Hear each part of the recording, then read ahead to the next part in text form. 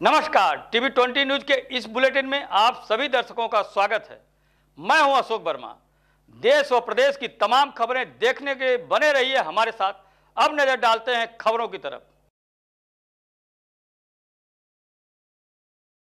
खबर आपको आजमगढ़ से दिखा रहे हैं, जहाँ पर द आर्य विद्या सभा, आजमगढ़ सोसाइटी का साधारण सभा का वार्षिक अधिवेशन डीएबी इंटर कॉलेज आजमगढ़ के परिसर में शुक्रवार को संपन्न हुआ। आपको बता दें, नवनिर्वाचित मंत्री विनोद कुमार श्रीवास्तव ने बताया कि सोसाइटी के कार्यकारिणी समिति के सदस्यों एवं पदाधिकारियों का निर्वाचन निर्वाचन अधिकारी नरेंद्र सिंह एवं विश्वविद्यालय द्वारा नामित पर्यवेक्षक विजय कुमार राय, प्राचार्य श्री गांधी स्मारक, त्रिवेणी पीजी कॉलेज बर्दा की देखरेख में संपन्न हुआ।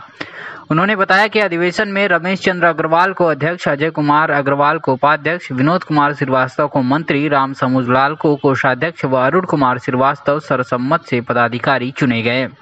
इसी के साथ ही डीएबी पीजी कॉलेज आजमगढ़ की प्रबंध समिति के सदस्यों का भी निर्वाचन निर्विरोध रूप से संपन्न हुआ।